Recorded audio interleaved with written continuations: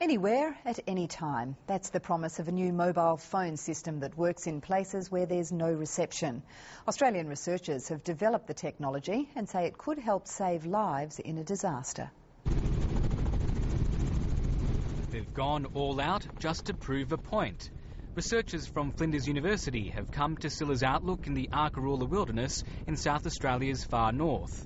It's a breathtaking spot for many travellers who want to get away from the world and drop out of contact. Here at Arkaroola, the nearest mobile phone coverage is probably 100 or 130 kilometres away. Um, there are places that we're visiting today where um, you know, we're in chasms and gorges where even a satellite phone would actually have a lot of trouble. It's no problem for a system that doesn't need towers or satellites. Each phone is fitted with software that allows them to talk to each other. Hello, Danny. Can you hear me? It's an adaptation of wireless internet technology, but instead of transmitting data over radio waves, it transmits voice. Out here, conventional mobile phones are useless, but with this new system, it's easy to make a call. Hello, Paul. How'd the test go? Hi, Jason. Yeah, the test has been 100% successful.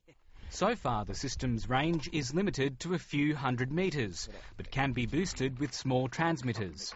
Researchers believe the system could eventually help in natural disasters or emergencies when communications go down. You could have a, you know, a Hercules or a similar um, aircraft overfly in the immediate hours after a disaster and drop perhaps 100 or even 1,000 of these units, because again, they're very cheap and really provide a, a very effective um, telecommunications network.